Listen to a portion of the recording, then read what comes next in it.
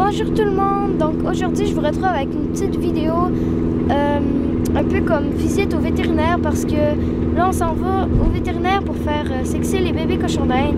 Donc là ils sont avec euh, Napoléon encore. Et puis je vous l'avais pas dit mais Milka a quand même passé la semaine avec elle simplement parce que j'ai pas vu remonter d'autres cochons d'Inde. et puis vu que j'étais pas sûre à 100%, ben je ça me tentait pas de le mettre tout de suite avec Pollux. Euh, donc, sont, sont là, ils ont un peu de foin. Là, ça paraît pas parce que ils ont un peu foutu le bordel, mais ils ont aussi du céleri. Et je vais l'en garder un peu pour euh, le retour.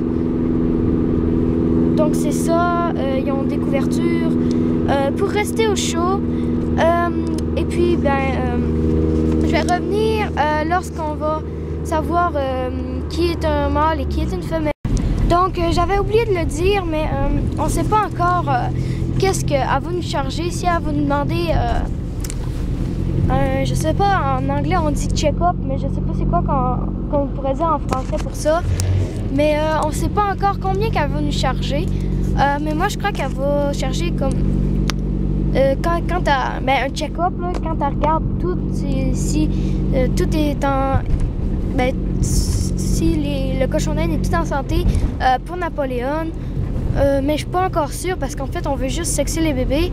En fait, Napoléon n'aurait pas été obligé de la porter, mais euh, je crois que ça aurait fait trop de stress pour elle et, puis pour les bébés.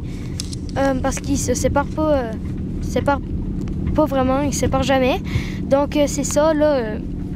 Ben, je vous retrouve quand je vais savoir les résultats. Euh, donc là, on, est, on revient de notre rendez-vous. Désolé pour l'éclairage euh, qui est pas très bon. C'est parce qu'on a dû attendre longtemps et puis euh, c'est devenu noir. donc là, je vais vous dire finalement ben, les résultats. Donc en fait, ici, ah, 1000 cas en fait. on a trois femelles et un mâle. je suis quand même contente que ce soit pas trois mâles et une femelle. Donc en fait, c'est 1000 cas là que vous pouvez voir qui est le mâle.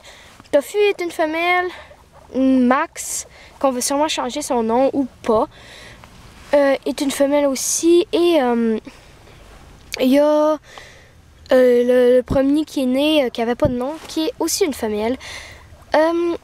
donc c'est ça. Merci d'avoir regardé la vidéo et à la prochaine.